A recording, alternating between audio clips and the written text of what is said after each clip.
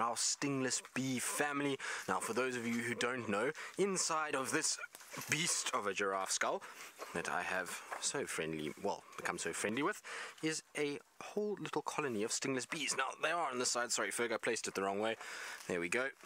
Inside there is where our stingless bees are living, and given that it is quite a warm afternoon, I wonder if there's not going to be some activities. I'm going to try and get the microscope inside there and see if there aren't any stingless bees buzzing around in there. I know some of you have been wondering about them and whether they are around. Now I'm going to try get a little bit of sunlight.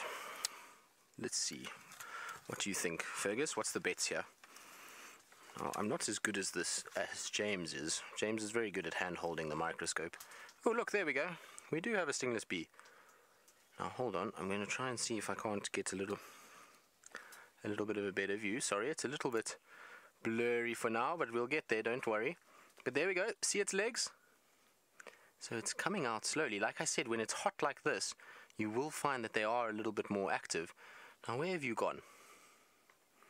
I'm trying to just angle it a little bit better.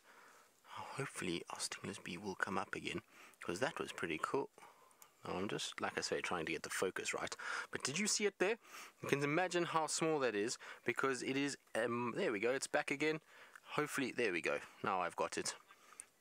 There it is, look at it. Hello. Welcome to the world. Sorry that we are disturbing you. But there we go, there's our stingless bees. Now you can see that they're quite small and they'll live inside of this giraffe skull. And they've been in here the whole summer. They've found a perfect place to make a home. They've built their nest coming out of the sort of base of this giraffe skull and inside there will be the perfect sort of nooks and crannies for this particular bee to survive, and there will be a whole host of them in there. And like I said, when it gets warm like this, they're far more active. So they'll come out and they'll go and feed around, and then they come back into this and they'll spend the night inside here. So James Richards, you are actually wanting to see the stingless bees. Well, there we go. They're out and about and moving around. They're actually quite cute. Every time I've looked for them, they haven't been moving around. So to actually see one this afternoon has been really cool. And look at those jaws. Can you see them? Amazing. That's so cool. I love this microscope. This microscope is the most fun thing ever. It's like being a kid again. You're just able to see all the wonders of nature that you can't normally see. Oh, it's gone away again. I think it's a little bit shy.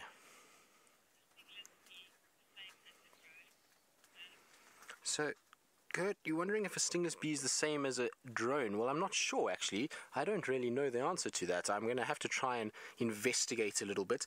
Like I say, James is more the king of the stingless bees because he's been seeing them a lot more. Every time I try and look at them, I can't get them. So I'll try and investigate and see if it is indeed the exact same thing. I would imagine that it might be, but we'll just check it and see. Like I say, I do have access to some insect books while I'm in the tent, so we'll definitely try and see if I can't sort that out. Now, unfortunately, I've got the focus all wrong again. It's my fault. I've moved the. There we go. There, that's better. Now we can actually see you. Look at the little antenna poking out. And I think it's very curious as to what this big thing is around its entrance to its nest with the light shining in. Now, it's quite difficult because they're moving around so much that I've got to try and kind of change the focus. Now I know what it's like to be a cameraman. You guys do a good job, Ferg. Well done. This is a lot harder than it looks, that's for sure. There's a little leg that's sticking to the side, and you can see how those fine hairs work. We were looking at the hairs of the spider, and we're saying that it'll help them to traverse their web. And you can actually see how those hairs on the bee are helping to for it to traverse up the sides of this thing. This little tube that they have. There we go.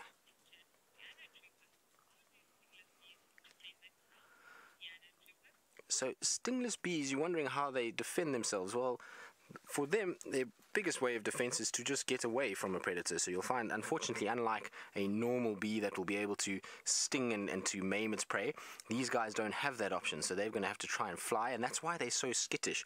You'll find that they stay inside structures. You find them naturally in these skulls. You'll find them in fallen over wood pieces, and they live inside there. And they'll only come out every now and then when they come out to feed, but otherwise, it's inside there and stay hidden as much as possible to stay out of the way of predators. I've got to change the focus again. That's the only problem with the microscope, if there's depth of field on it, it is not very good. I would actually would love to know what the depth of field is on this, but there we go. Look at the big eyes that they've got, so you can imagine how well this insect sees. When you see eyes like that, then you know that they can see very, very well indeed. Right.